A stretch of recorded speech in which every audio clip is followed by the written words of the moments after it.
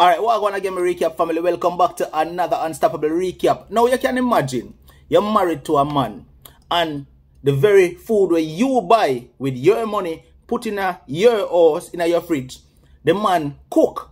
And because you come home from work and your family, your picnic them come home from work and eat some of the food, the man are to get upset and say, if me ever cook in other house again, I don't know eat my food, me I go pies no no.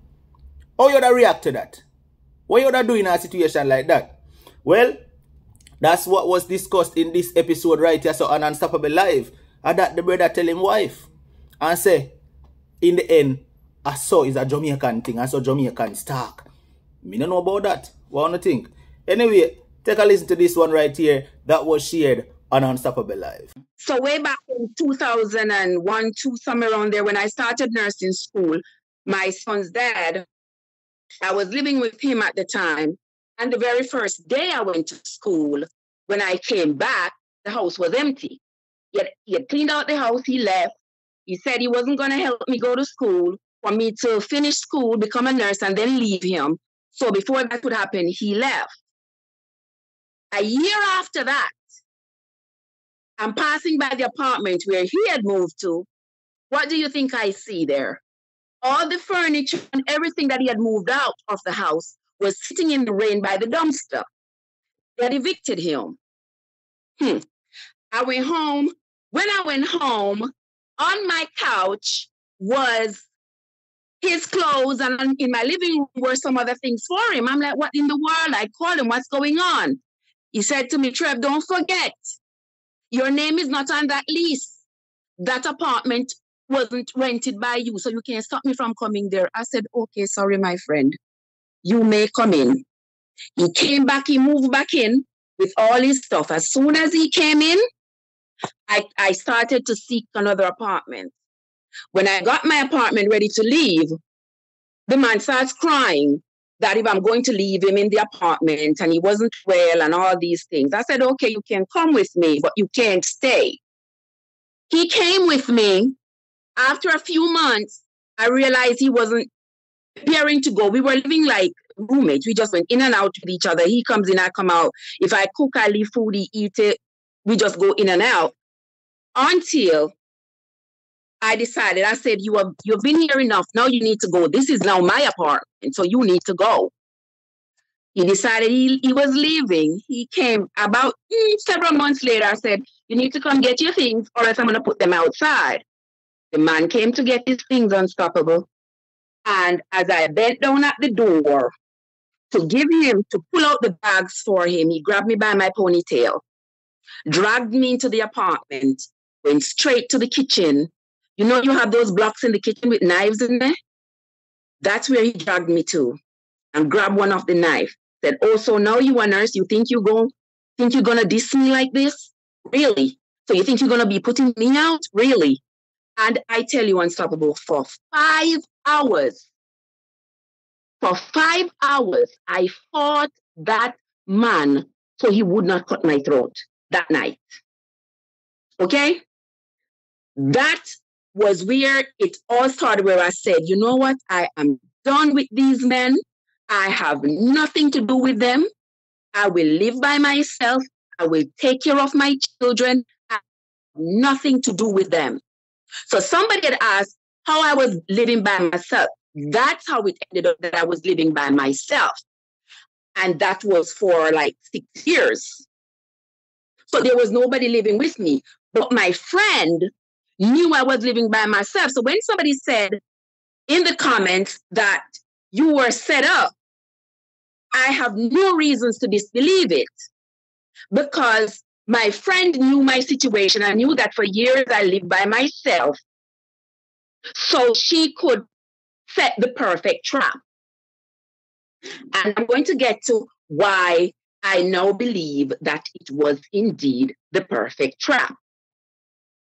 Let's fast forward to after I decided to marry her brother who had come into my house with the two suitcases. When I was getting ready to marry him, Nobody was in agreement with me, not my family, not my friends, nobody. Everybody thought, Trev, this is a stupid thing you're doing. And he goes, Oh, they just don't want you to be happy. Everybody wants you to live here by yourself. Look how long you've been by yourself, and yada, yada, yada. Okay. That after I got married, I realized I was losing friends, family members. Everybody got a little cold with me. But just before I got married, I got a dream.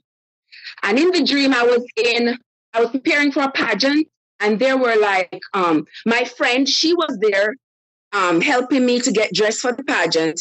And there were other people who were related to her, but I couldn't identify them clearly. But they seemed like she knew who they were. And she was helping me get dressed. When I walked out on the stage, she was like cheering me on, cheering me on.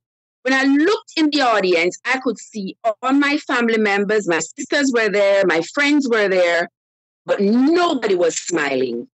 Everybody looked so angry.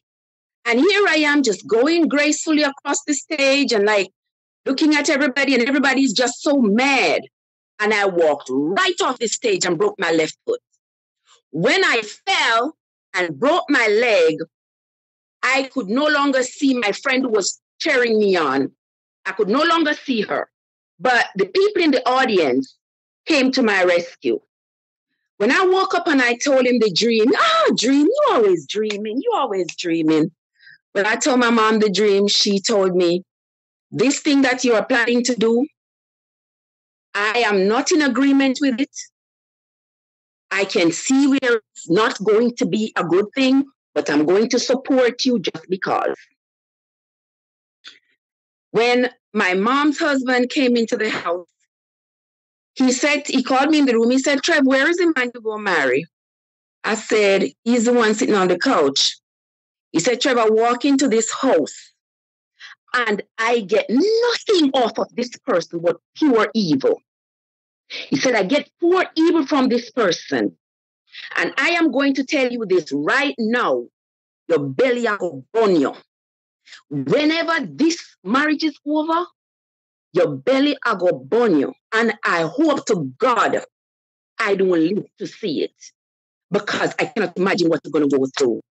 And even though I was scared, I'd already like spent all this money and I, in, indeed I was embarrassed to be to be honest with you because imagine you plan a wedding and all this and then suddenly you're gonna pull the plug on everything everybody gonna be upset and you know, it's, I just thought it was just at the time, I thought it was going to be too embarrassing. I didn't want to have to face it at that time. In hindsight, I should have, but we're not dealing with hindsight right now because it's always 2020. And we have passed it. We have passed it now. But on the day of the wedding, my mom's husband said, I'm going to walk you down the aisle only because of the respect I have for your mother not because I'm in agreement with what you're doing. He walked me down the aisle when we went uh, in front to go to go light the unity candle. And probably believe it or not, my veil on the top of my head catch fire. The veil on the top of my head caught fire. And if I say like my sister said, it should have burned you up. But but that was just because she was angry like you know you should not have done that. But anyway that was the first sign. And all of my friends and my family members that were in the wedding that were at the wedding were so upset. And they were like Trev, this is a sign this is a sign.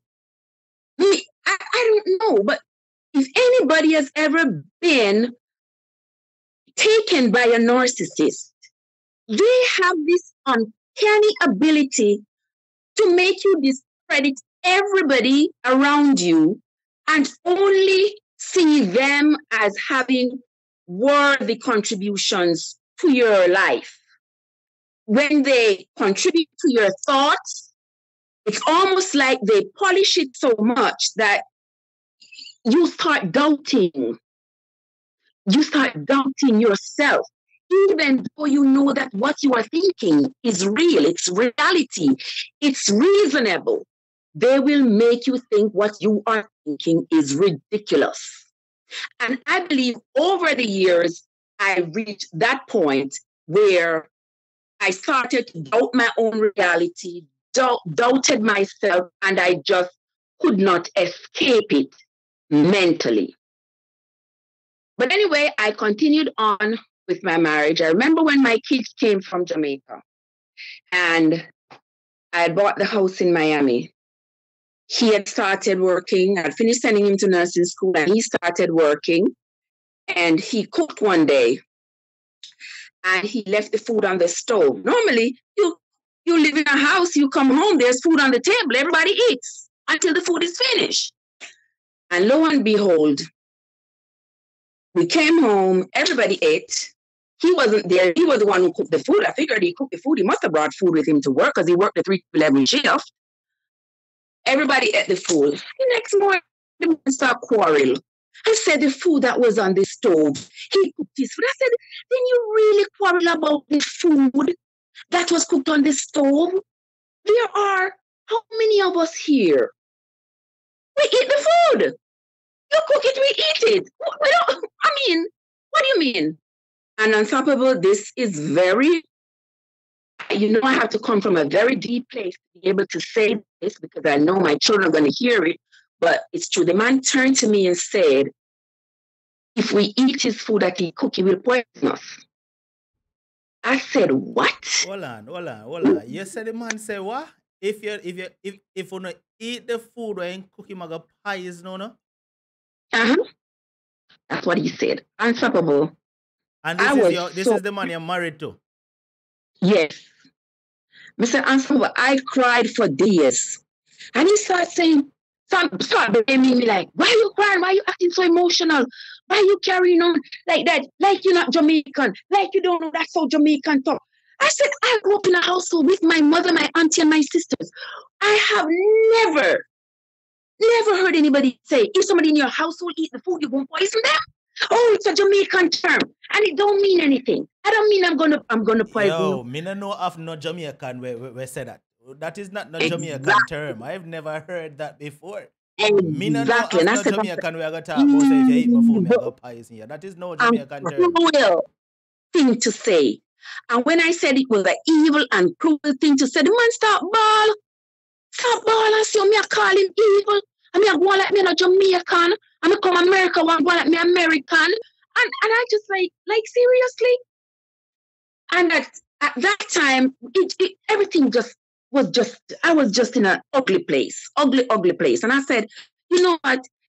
For peaceful life, just take your things and leave. Nobody's holding you here. Nobody call, sent to call you. You came in here.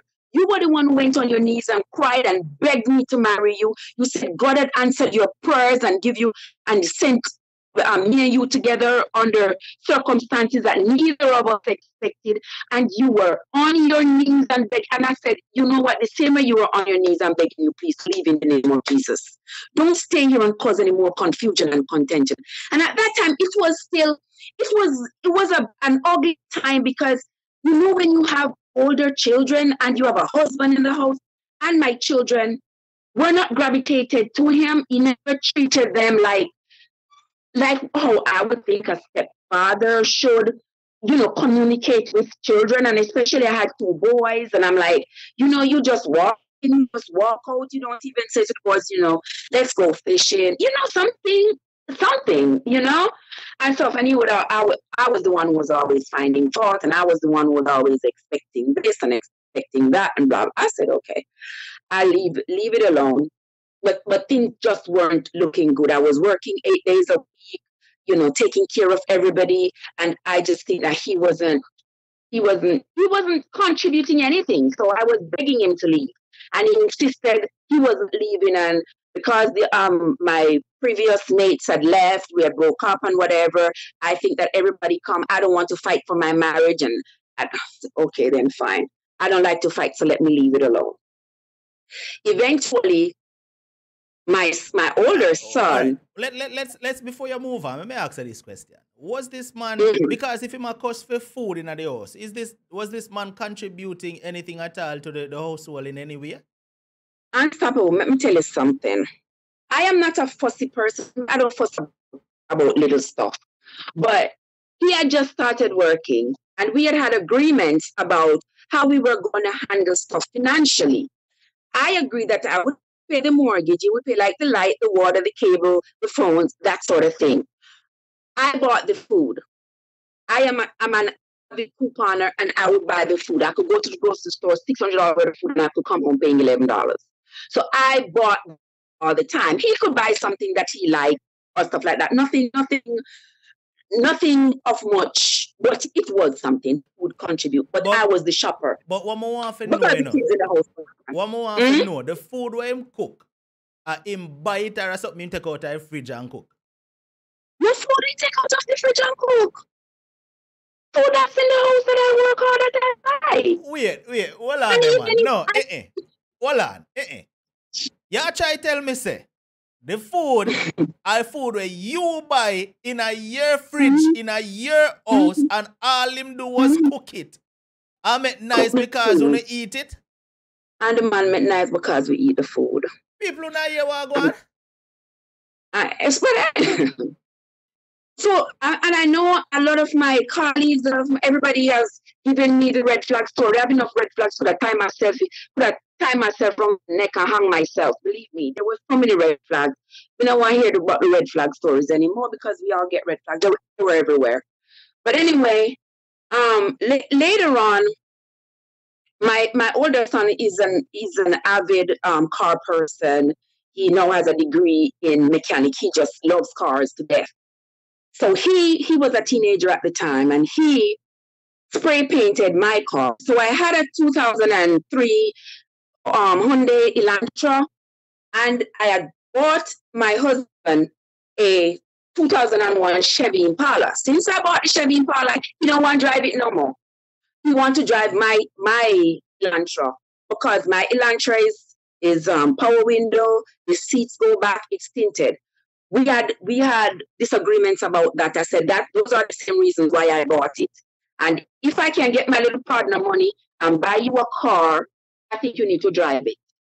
it. that that that was a big deal because a car is a car and I was making a fuss. But I'm not I'm not going to address that. But my son spray painted the wheels of the Elantra.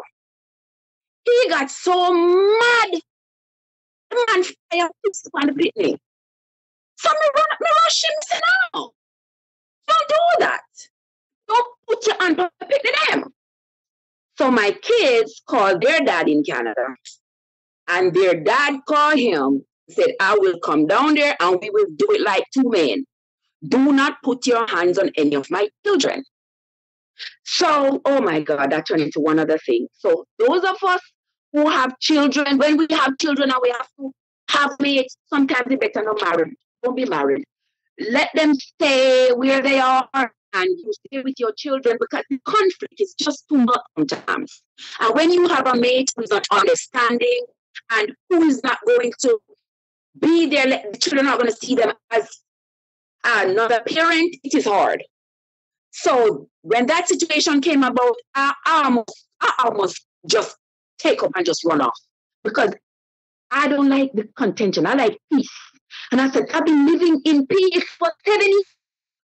Seven years I've been living in peace by myself. Nobody to bust me. And as soon as you come in, there is so much confusion. I don't want you here. I want you to leave. And it was me. I was the problem because here I am throwing him out. Here I am telling him to leave. Yes, because if you leave, there will be peace between me and my children, but you are instigating. But I mean, you you, you, I mean, you did have all right for sure him out because you never invite him for movie. no, no. For, for all who remember the first story, you know that know why that funny. You know that know why that part yeah, is funny. But, but I gave him the opportunity to take your things and leave. He's, oh, he's not leaving. So anyway, so that went off. I ended up sending my son to his dad because I see where it was going to cause a contention because he and I was probably going to end up, you know, duking it out or something. Because I tell him, if you dare to put your hand on one of my children again, it's going to be a problem. I don't want no police all up in my house. I don't want that kind of life. I don't want my neighbors looking over, seeing police coming and saying, I can handle my business. I've been living in America too free for too long for this foolishness. He insisted he won't leave and he didn't marry me to leave me and all this nonsense. And we know it was because he, he hadn't gotten everything he wanted at that point. So, and fast forward to after we went overseas, came back and came to North Carolina. So when we came, I just I just kept having these dreams. I'm always dreaming about me. It's always a struggle. I'm always somebody's always fighting with me. There's always, you know, people coming at me, animals coming at me. One time in after 2013, when he in 2013, remember I told you when he went to Alabama and came back, then called the police and said I threatened him. Mm-hmm. After that, when when I disclosed to him that I had found out where he was, who he was with, and whatever, he bawled and carried on and gave me the code to his phone. The Trevor, I'll never do that again. I will never give me the code for his phone. If anybody has ever been with narcissistic people, they always feel like they have to have control of every situation. So now that I have discovered what he has been doing, and he knows now that I know, he's going to try to sugar me up. So here, here, this is what you need.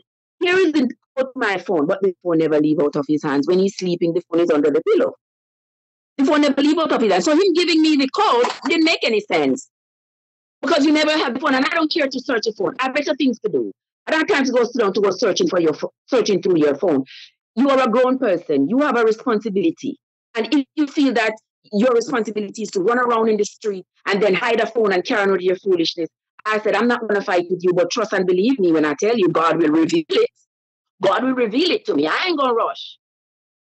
So in April of 2014, I had this dream that I were walking in Jamaica, going towards my aunt's house, and we heard a sound behind us. When I looked behind us, there was like wild animals coming at us. And they were rushing, and I'm screaming his name, and I'm dragging him. You know, I'm, I'm hysterical. Let's get away from them. I'm really.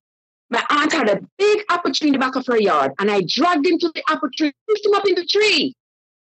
And I'm stretching my hands to him, say, pull me up, and I'm screaming and I'm screaming. And on top of it, three times I stretched my hands to the man, and three times the man never grabbed me to pull me up the tree. On the third time, I looked behind me, the animals were right at my butt, and I woke up. He was laying right there. He said, Why are you fighting in your sleep, so Trev? You've been fighting in your sleep. But I told him, and you're always dreaming. I have nothing to do with your dreams. You're always dreaming. Okay. Left it alone. In July of that same year, 2014, I'm sitting up in the bed, I'm reading a book. He's laying there sleeping. His phone is laying on the bed between us. The phone going off, going off, going off. I said, Jesus, his mama must be dead. Why the phone going off like this? I pick up the phone and you know I remember the code. So I went in the phone. There was a text that the phone, there was a text on the phone on WhatsApp. And the person texted him and said, Listen, we had some great sex the other day. And he responded, Yes, we sure did. I said, Oh. So I texted back the person, What the F? She texted me back, Oh, like UHM, UHM. I said, Okay. So man is sleeping. I'm not a violent person. I leave the man alone, let the man sleep. I'm waking him up. I put the phone down. I couldn't read anymore. So I started to miss a little blanket I was knitting. And I'm sitting there in the bed. About maybe 35 minutes passed by. He woke up. He picked up the phone, goes to the bathroom, he come back. He said, Why your face look like that? I told him what I saw. Drop himself on the ground, put his hand on his head. Oh, Jesus. Because guess what? Now I catch you again, even though last year you cried bloody murder and say you were never going to do this again. Now I catch you, your hand is on your head, crying. Put the phone on the bed. Said, you know something? Maybe I to go through this phone because it will give me some insight as to what is really going here. When I reached to pick up the phone, the man jumped up and grabbed me by the neck. I have the phone in one hand. He has my neck in his in his in his in, between his elbow. I'm screaming, "You're squeezing my neck!" He said, "Well, give me the phone." So I reached back, grabbed him by the crotch. He squeezed my neck, I squeezed his crotch. He squeezed my neck, I squeezed his crotch. Did that for about a few seconds. Then I just threw the phone on the bed. I said, I'm sick, tired of this nonsense. We're not doing this anymore. As soon as I went downstairs, I, he let go of me and I went downstairs. I heard him call my name, but he called my full name. Right. Why are you calling my full name? I went back up the stairs on the phone. As soon as I walked in the room, I said, I hope it's the police you're calling, you know. Because if they come tonight, you'll go to jail. He said, Oh, no, no, no, I don't need anybody. Everything is okay. Oh, so you were calling the police? He didn't answer. I said, okay, I'm waiting for the police to show up, but nobody showed up. I said, oh, okay then. So I didn't say anything. People always say, try when I call the police. You know, when the police start seeing you calling them all the time for little stuff, little stuff, after a while, they tired of you. They're tired of you calling police all the time. I don't want no police up in my house calling the police all the time and all this, all this nonsense. I want us to break up. You go your way, I go my way. No hard feelings, case closed. But apparently that wasn't his plan. His plan was to make sure that he did something cruel to me because everybody's going to ask, wasn't that the woman who took you in with the two suitcases? Wasn't that the woman who sent you to nursing school? So what did she do? He couldn't deal with that. So he had to create all this plot so that he could have a defense when people start asking him these questions. He can say, well, I don't care. She did this for me, she did that for me, but but she did also this cruel thing. So that is why he had to create all those things to make sure that he had an answer for the people who were going to be asking questions. Mm-hmm. After, after that time, around the time when he said he didn't want the marriage, that was in October of that same year. I had a leak in the house in Miami. I'll show you how cruel this person is. I was looking for a contractor to fix it. He brought me this guy and he said the guy is good. The guy has a license, blah, blah, blah. License and insured. So I said, okay. I said, okay, the guy the job, sign the, sign the um, power of attorney. So the guy, I'm all the way here so the guy can do the communication with the insurance and, and fix the, the, the problem. When I got the insurance money, I put the money, stupid me, I put the money in an account that both of us had together because the account I had by myself was all the way in Miami. So I put the put an account we had together here. I just figured is there is money to fix the house. I don't think there's any way he could steal that money. I, when earlier in the marriage, I discovered him stealing my money and secretly sending it to the sister who was my friend. So I had said, no more. Uh-uh, uh-uh. So I had taken his name off my account, cut it off. I said, uh-uh, you can't be stealing my money, sending it to your sister. That ain't right. So, but he, he didn't want me to know. Hmm. No. I can't my children to feel. Hold on, he never want you to know what? Same I take the money, send it to his sister. He was planning to give it back to me, but he didn't want me to know that he was sending the money to his sister. But wait, was it his money or your money?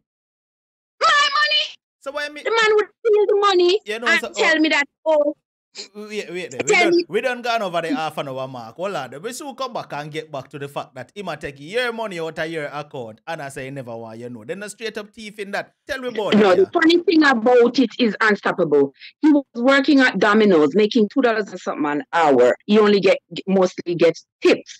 Mm-hmm. But I I put his name on my account because I wanted to be transparent in my marriage. I didn't want to, even though I know I was jaded from my experiences before, I did not want to, and since I didn't want to bring that into the marriage because then I would be contaminating the marriage. Then if you contaminate the marriage, you can't complain.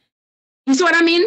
Mm. So so I put his name on my account and I told him, he had permission to take money to go to school. You, you don't want the guy going to hang out with his friends and he want to buy a beer. He got to call you to, can I get five dollars to buy a beer? No, those things are demeaning. I don't like those things for anybody. Mm-hmm. So I gave him permission in my my account and I said, you know, you can buy your buy stuff for school and stuff like that.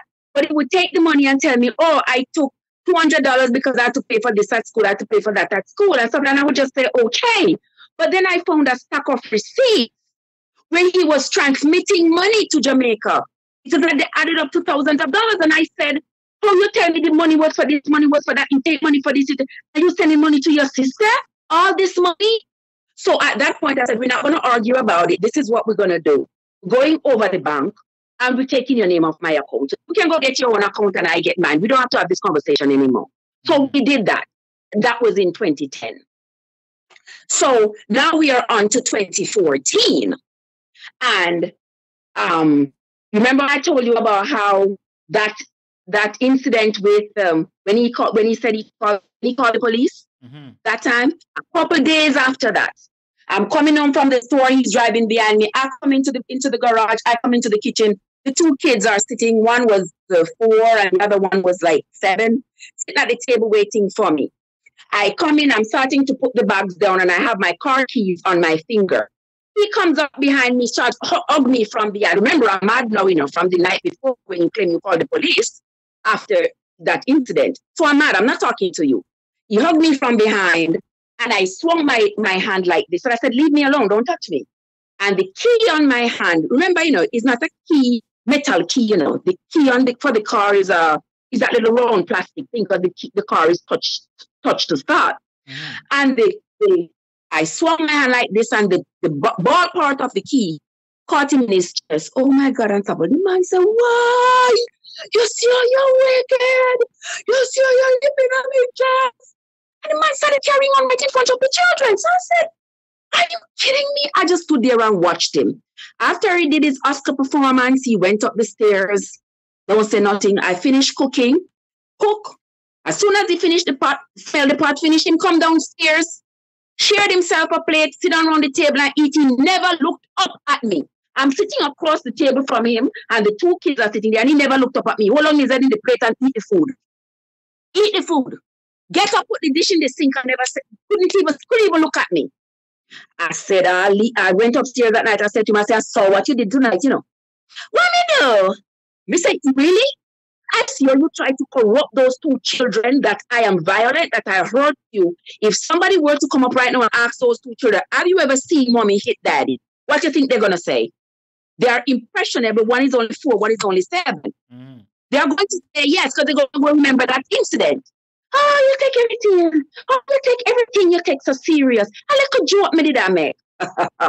Unstoppable. Before me forget. Two years later, when he filed the fake restraining order against me, and we went to court, what you think the man had in court? A picture of his chest when the judge said to him, You have petitioned the court against this lady, you say she has been beating you up throughout the whole marriage. Do you swear that this is the truth? Him say, Yes. For the whole marriage, I've been beating him up. The judge said, That means you should have some police reports and stuff to show to the court. You should have documentation to prove to the court that this is true. He said, Yes. The just say, Okay, then let's see it. You know what the man pulled out on unstoppable? The pho- a photograph of his chest. That means he planned that long time then long time. When the judge said to him, give, I was sitting on the stand beside the judge. He said, give the, the, the evidence to, to Mr. And I take the, the picture and I look at it. I said, ah. The judge said, what is that? Said, a picture of his chest. The just said, oh, let me see that picture. Alright, so not because I cut it there, so doesn't mean the video ended right there. There was a whole lot more to it and it even got a little bit more interesting. Remember, this is just a recap, so don't get mad. If you want to listen to the rest of it, click the link in the description. It will take you over to Unstoppable Live where you can listen to the rest of the story in its entirety. When you go over there, make sure hit that subscribe button turn on all notifications. So once we go live, you will get notified. And you can be there to participate in the live stream, call in, share your feedback, your opinions on whatever topics being discussed.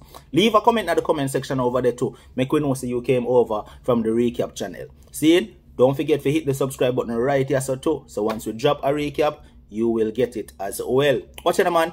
Until the next unstoppable recap. Stay strong, stay motivated, but most of all, remain Unstoppable. Unstoppable.